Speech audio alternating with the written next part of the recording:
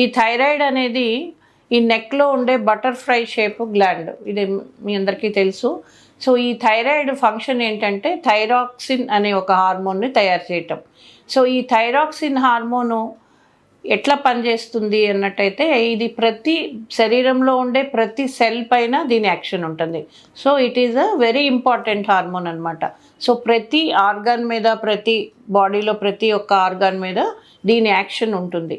So అందువల్ల ఏంటంటే మనకి తల్లి గర్భంలో ఉన్నప్పుడు శిశువు దగ్గర నుంచి బ్రెయిన్ డెవలప్మెంటు నర్వ్ డెవలప్మెంటు అలాగే యాక్చువల్గా ఈ చైల్డ్ పెరుగుదలకి తర్వాత ఈ పీరియడ్స్ ఆడవాళ్ళల్లో పీరియడ్స్ రెగ్యులర్గా రావడానికి ప్రెగ్నెన్సీ రావడానికి ప్రెగ్నెన్సీ మెయింటైన్ అవ్వడానికి అలాగే మనం బాడీ మెయింటైన్ అవ మెయింటెనెన్స్ అంటే బాడీ వెయిట్ మెయింటైన్ అవ్వడానికి బేసిక్ మెటబాలిక్ రేట్ మెయింటైన్ అవ్వడానికి మనకి స్లీప్ కానీ ఈ వీటన్నిటికీ కూడా ఈ హార్మోన్ థైరాక్సిన్ అనేది చాలా ఇంపార్టెంట్. కాకపోతే ఇప్పుడు ఏం చూస్తున్నామంటే చాలా మందిలో ఈ థైరాయిడ్ డెఫిషియన్సీ అనేది ఎక్కువ చూస్తున్నాం. చాలా తక్కువ పర్సెంటేజ్లో ఎక్కువగా కూడా ఉంటుంది. హైపర్ థైరాయిడ్ అంటాం దాన్ని. కానీ కామన్గా హైపోథైరాయిడ్ ఎక్కువగా చూస్తాము. అది కూడా ఆడవాళ్ళలో ఈ సమస్య అనేది ఎక్కువగా కనిపిస్తుంది.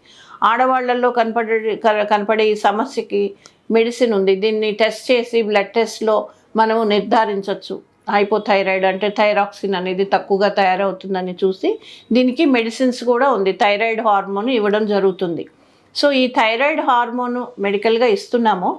కానీ న్యాచురల్గా ఈ థైరాయిడ్ బాగా ఈ గ్రంథి బాగా పనిచేయడానికి మనం ఏదన్నా చేయొచ్చా?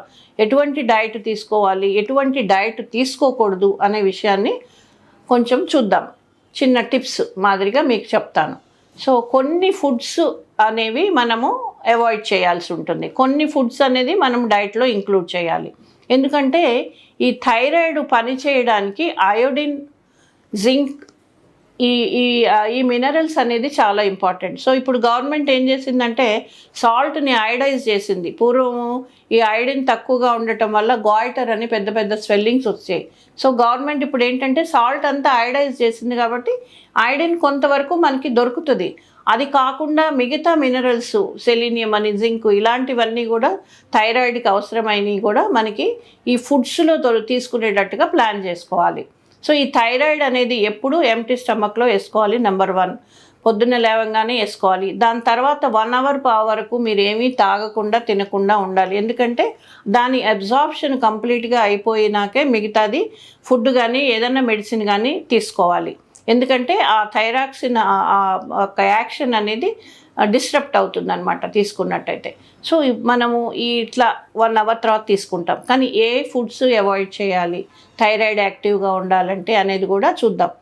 సో మెయిన్గా ఒక టెన్ ఫిఫ్టీన్ ఫుడ్స్ ఉన్నాయండి. దా అవి మీరు జాగ్రత్తగా తక్కువ పర్సంటేజ్ దాన్ని వాడటం తగ్గించుకొని ఆర్ కంప్లీట్గా మానేసినట్టయితే మీకు థైరాయిడ్ యాక్టివిటీ అనేది న్యాచురల్గా పెరుగుతుంది.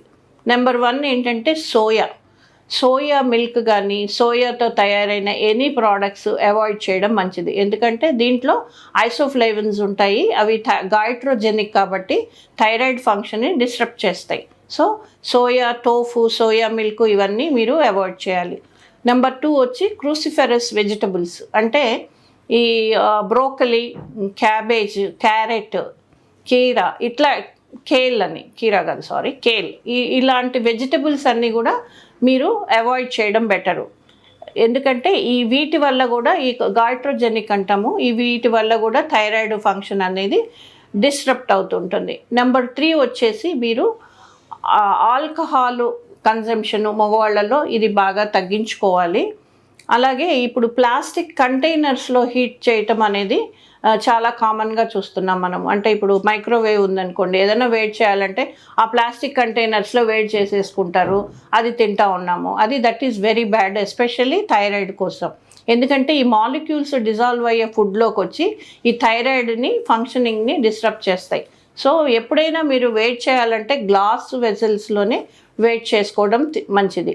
అలాగే ఈ ఫాస్ట్ ఫుడ్స్ టిండ్ ఫుడ్స్ ఇవన్నీ కూడా అవాయిడ్ చేయాలి. ఎందుకంటే దీంట్లో కొన్ని ప్రిజర్వేటివ్స్ ఉంటాయి. ఈ ప్రిజర్వేటివ్స్ ఉండటం వల్ల మనకి అవి బాడీలో ఒక విష పదార్థం లాగా పనిచేస్తాయి. ఎప్పుడు కూడా ఈ ఈ టిండ్ ఫుడ్స్ అనేవి ప్రాసెస్డ్ ఫుడ్స్ అనేది అవాయిడ్ చేయాలి.